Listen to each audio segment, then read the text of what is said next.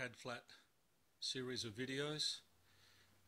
Today we're going to look at the transmission that's been added to the already reported engine and you heard it running last time. We have here a uh, Turbo 700 R4 as you can see it's fitted with an adapter to match up to the Cadillac engine. I've also gone to the trouble of hooking up the shift indicator mechanism, the torque converter lockout and installed the bracket for the shifter. The other, the other item installed was the uh, electronic sensor for the speedo and underneath homemade cover for the original Cadillac flex plate and uh, I've utilised a General Motors aluminum cover that I believe comes from a T200 transmission. It's not a perfect fit but it's better than nothing and it's solid that's for sure. So if that helps anybody. Take advantage of my lead.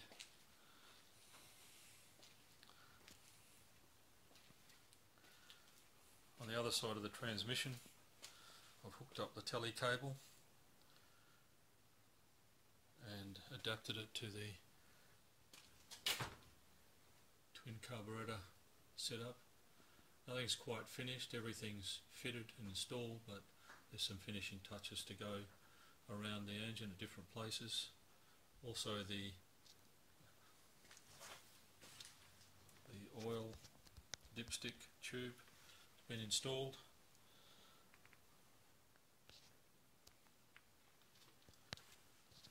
And the transmission rear mount rubber. I'm hoping our next video will show the whole unit installed into the chassis. It's one thing to consider when playing with these engines and a lot of other engines of course but this one in particular I've estimated that uh, the weight of the engine, the adapter, uh, oil in the transmission and the engine is somewhere around about 1350 pounds to lift. It's uh, it's a it's a big weight and uh, I've had to make some changes in my workshop to safely cope and manage with a manage a load of this size. Uh, I've gone to the trouble of making some purpose-made hitching points at the heads. These engines don't have a lot of places to hook onto or put bolts into. Um, the exhaust pipes at the front could interfere also with the uh, the mount, the engine mount, if I hook change on there, I'm not sure how that'll work yet, but I've gone to the trouble of making a lifting device and uh, I would suggest that anybody that doesn't have a tractor or a, uh, a two or four post hoist that they could utilise that they would need to think seriously about having some decent lifting gear. My lifting gear is a homemade gantry with an electric winch that uh, will, will at least at least uh, 2,000 pounds I'm led to believe.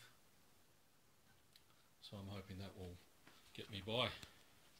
Anyway, thanks again for visiting my video and uh, look forward to the next one where we have the engine in the frame and running.